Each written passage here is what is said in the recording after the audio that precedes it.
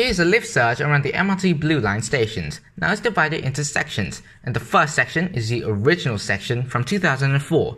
And the lifts here are Mitsubishi GPQ lifts with some very nice vandal resistant buttons, which adds a lot of character to the lifts all around the MRT Blue Line system.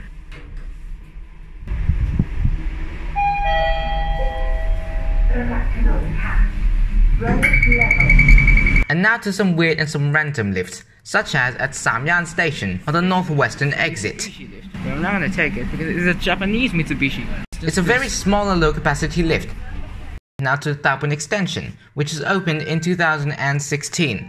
The lifts here are Mitsubishi Elenessa, which has some custom buttons. These lifts have been on the news twice, the worst time being that a wheelchair person wants to use the lift, which is crowded, even though the sign says clearly this is mainly for wheelchairs, and nobody does that, which is a bad manner in Thai. And now to the West Extension, which is opened in 2019 and 2020. The main lifts are ThyssenKrupp lifts here.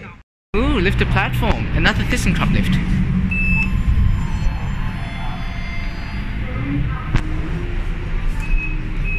Oh, there's music here.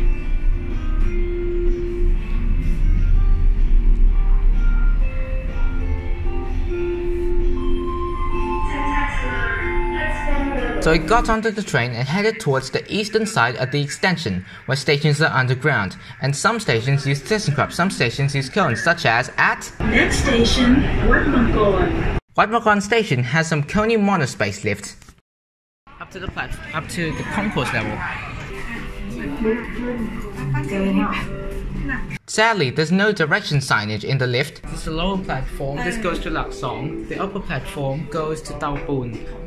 ออกจากด้วยค่ะ Concourse level. Move north, going down.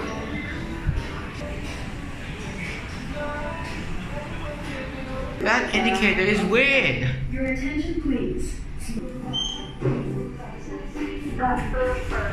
And here's the MX-20 EcoDisc motor.